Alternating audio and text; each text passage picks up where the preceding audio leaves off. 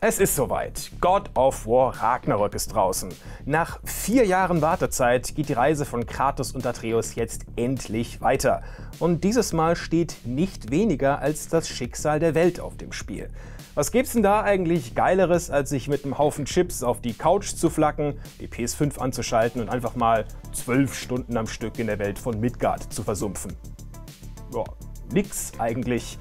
Und trotzdem sah meine erste Amtshandlung so aus, ich bin erstmal ins Internet, um zu schauen, wie ich in-game eine Platin-Trophäe bekomme. Ja, es stimmt, ich bin so ein wenig dem Sammelfieber verfallen. Schuld ist mein Report zum Thema Trophy Hunting aus dem April.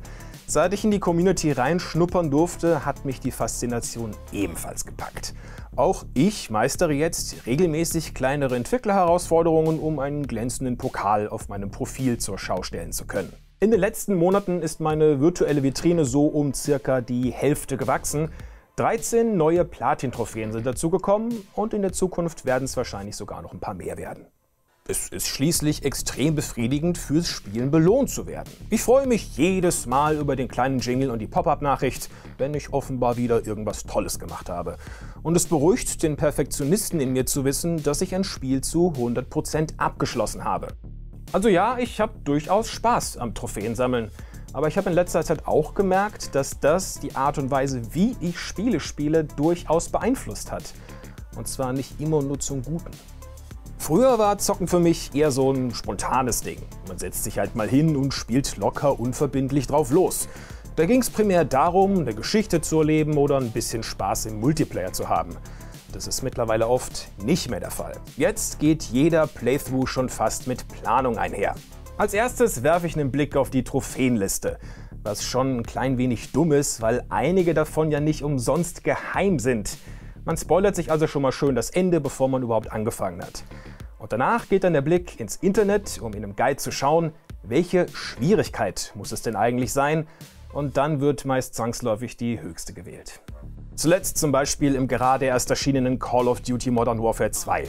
Das habe ich komplett auf Veteran durchgespielt. Nicht, weil ich ein absoluter Shooter-Experte bin, den alles darunter maßlos unterfordert, eher das Gegenteil ist der Fall, sondern weil es dafür eine extra Gold-Trophäe gibt. Hat es Spaß gemacht? Nee, nicht wirklich. Wenn mich Gegner auf drei Kilometer Entfernung in einem Busch hocken sehen und mit einem Schuss umbringen, dann sorgt das eher für Frust. Irgendwann schmeißt man sich nur noch willkürlich hinter Deckungen, um zu warten, dass der Bildschirm nicht mehr blutrot gefärbt ist. Mit dem heroischen Ein-Mann-Armee-Gefühl, dem typischen Run-and-Gun-Gameplay der Call of Duty-Reihe, hat das eher nichts mehr zu tun. Noch schlimmer wird es aber bei Sammelgegenständen. Gerade bei linearen Singleplayer-Spielen, die keine gescheite Kapitelauswahl haben. Ich schaue dich an, Marvel's Guardians of the Galaxy. Aus Angst, irgendein relevantes Collectible zu verpassen, hangelt man sich irgendwann nur noch von Heldenkostüm zu Heldenkostüm. Anstatt sich auf das Spiel zu konzentrieren und einfach mal die Welt, die Atmosphäre oder die Dialoge zu genießen, ist man immer nur so halb bei der Sache. Das eine Auge schielt immer auf den zweiten Bildschirm mit dem Trophäenleitfaden. Und zu guter Letzt wirkt sich das Trophäensammeln auch auf meine Spieleauswahl aus. Ich habe etwa mit anderthalb Jahren Verspätung Astros Playroom aus meiner Bibliothek gekramt, weil das recht einfach zu platinieren war. Ich habe mir aber auch schon mal ein Spiel lieber für die PlayStation gekauft, um es mit Trophäen spielen zu können, obwohl es auf dem PC oder der Xbox viel billiger gewesen wäre. Da wird es dann schon langsam ein klein wenig absurd. Zumal sich dabei ja auch immer die Frage stellt, welchen Mehrwert ziehe ich eigentlich aus meinem digitalen Fleißsternchen? Angeben kann ich mit meinen Internetpunkten nicht wirklich. Dem Großteil meines Freundeskreises sind die Dinger komplett egal. Und bis ich über das tolle neue PlayStation Stars Programm meine Trophäen gegen PSN-Guthaben eintauschen kann, da wird es wohl auch noch etwas dauern.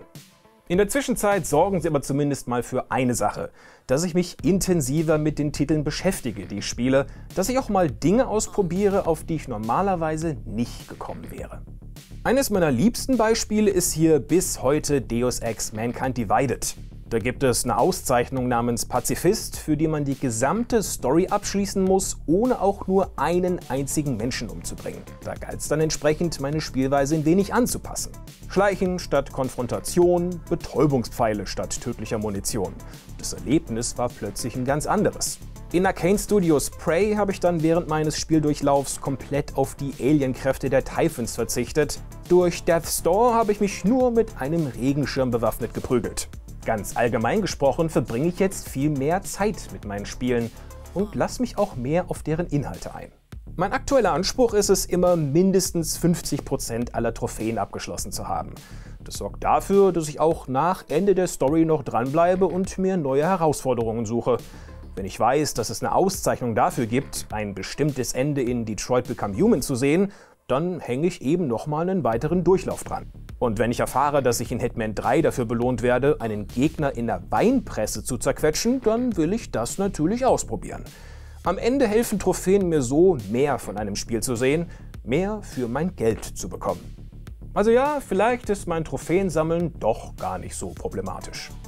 Ich habe auch noch nie Schrottspiele wie My Name is Mayo gekauft, um künstlich meine Statistiken zu boosten. Ebenso habe ich noch nie auf ein gutes Spiel verzichtet, weil die Achievements zu schwer waren. Und ich habe auch nicht den Anspruch, jede Trophäe ums Verrecken mitzunehmen. Wenn Gran Turismo 7 von mir möchte, dass ich 16 Millionen Credits grinde, um mir drei legendäre Autos zu kaufen, dann ist mir meine Zeit dafür definitiv zu schade.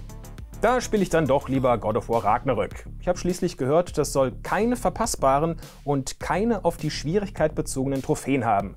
Ich kann also auch ganz entspannt und ohne einen Guide loslegen.